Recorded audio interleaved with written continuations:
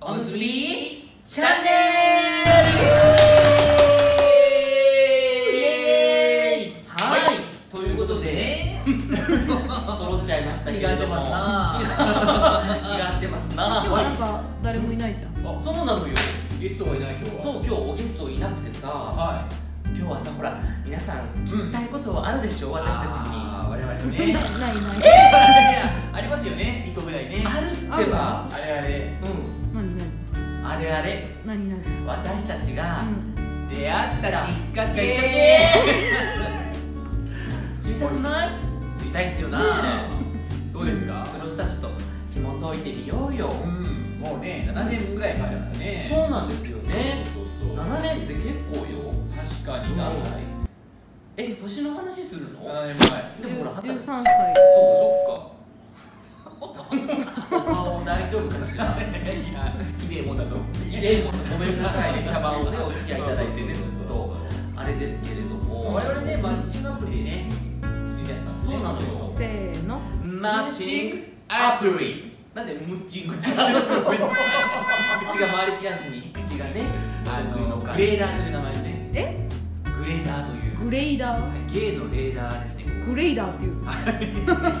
あったんですよ、何キロ以内に何人ゲイがえいます。ゲイサーチじゃないんだ。あそういうのもねありますねいろいろねまあ、ゲイサーチの中でうんいくつかアプリがあって、うんあそういうことなのね。そうなんですよ。なるほで顔写真で最初はねお互いど。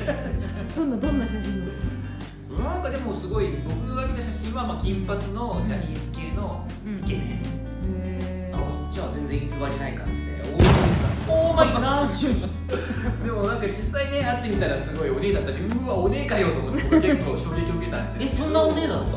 いや普通にまあやっぱ言葉がねあんま変わってなかったと思う。あ今と、うん。あそう。それってお姉とかは書いてなかったお姉と書いてなかったんですよね。書くところもある？のラランというか。多分書くとモテないんですよ、そうなんですゲイに需要がない的な。そうなのよ。イメージが低いんですよすごい。なるほど。だから私は書いてなかったし、あの詐欺詐初めて。欺詐欺。さちょっとやめなさいよ。騙されちゃったよ詐欺じゃないわよ。詐欺じゃない。まあ一応ほらお会いしてみてね、うん。どうなるかと思って、まああの初めてねそうですね。あの会った日。はい。今でもね覚えてるんですけれども。秋葉原そうなんですよ。これはね5月5日なの、うんうん確かに。そうそう。確かにっておかしい受け答えあってますあってか う確かにって何んね。どうかねや茨城にバンドの仕事があってそこから来たんだよね。そっからね。そうそうそう。某そう某大手飲料メーカーの あそうそう毎年出てたもんね。そうですね。そうそうそうミニッツメイドが美味しいやつね。言っちゃった。人気オールデイズのねグループでオールデイズか大丈夫です何言ってんのねえはい。いつにも増してね調子いいですけれどはいそうなのよ。その私はいつもうん。夜の仕事だったんですね毎日、夜の仕事。そう 夜の仕事。ね。ね夜で夜にライブしに行く仕事だったんですけど、うん。たまたま昼のお仕事それ本当年に1回あるかないかなんですよ。あそう。その日のうん。夜にじゃあちょっとマッチングアプリで、あのじゃあちょっと会ってみましょうみたいな感じになったんだよね、なったなったそれってさ、うどこにいるとかって出るやつとは違うんだ。その場所にさなんか出るやつあるでしょ、はいはいはいはいそれではなくって普通のマッチングアプリってこそうです。その,、ま、その前にも知り合って何日か前からメールのやり取してた。メール。とアプリ上でね メッセージをそうですうんうんうんうん。あで今日会ってみましょうと。そうですね。ね夜が空いてたから。そうそうそうそう。であの演出家って書いてあったかうん。ら、あ嘘嘘書いてた。嘘じゃねえよ。やってるよ すごいねそこまあいいやまあいいそんでそんでそうそうそれ長いで嘘書いておだからまあほらねそれは嘘じゃないでしょまあいいや気が合うかなと思って、で会ってみたあいつかって書いてエンタメ系だしあそうそうそうそうそういう浅はかな考えでちょっと本当にやめてよ第一印象どうですか第一印象でも二言三言話しても、あこの人気が合うとですよ二言三言でわかるなんかほらこういうキャッチボールであるじゃない、うん。何話した？のか覚えてる？全然覚えてない、僕はでもえね覚えてないの？うん。うんでも二言三言でそう思ったんでしょ？思った？そこからクモの巣にね引っかかっちゃった感じで僕ちょっと。え いやいやいやクモの巣 罠にね。わななんでだろうね。なんかね居酒屋行ったんだよね行ったの鳥貴族。そう。いやいやいやな違うわよ。なんかもうちょっとあのオシャンティーだと思う そう。そうそうそう。月の雫的な感じ？もうちょっとオシャンティー。わかんないけど。お互いちょっとねいいとこ行こうかなみたいなね。なるほどね。はいはいで行って、うでそこでまあなんかあのお話したんだけど、うん。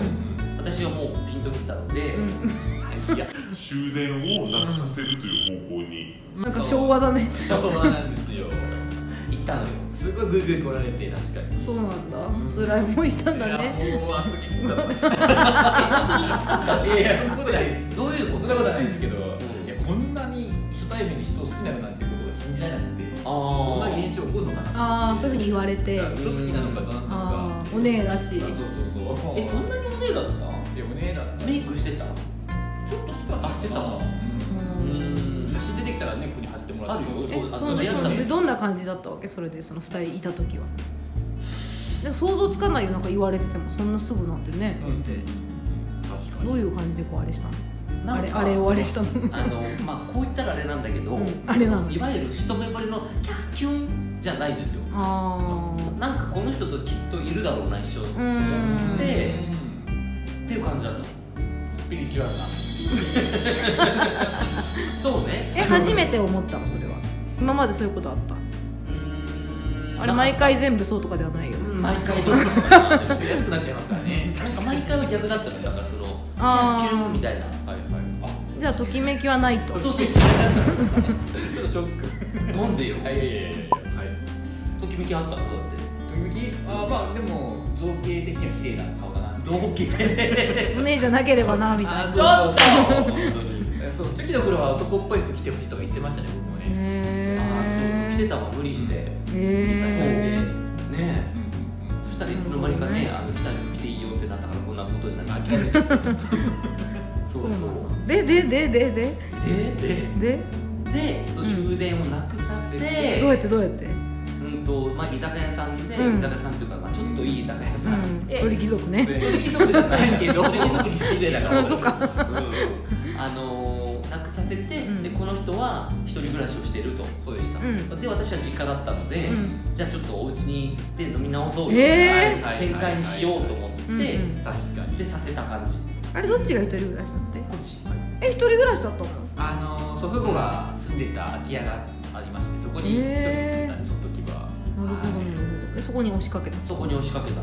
はい。なるほで続くであ続こっか。続きましたね。そこれ結構気になるよもねうその夜果たして仕掛けだ。ちなみに私が今の旦那とうん。付き合うことになったのは鳥貴族です。だからそうだからやたらとやたらと出てくると思ったら。サブリミナル効果すごいな。すごいですね。そういうことね。からのそれの前はラーメン屋に行ってたね。次今と変わらないじゃない。ですかじゃあそんな感じで。はい。ということで次に続く。続く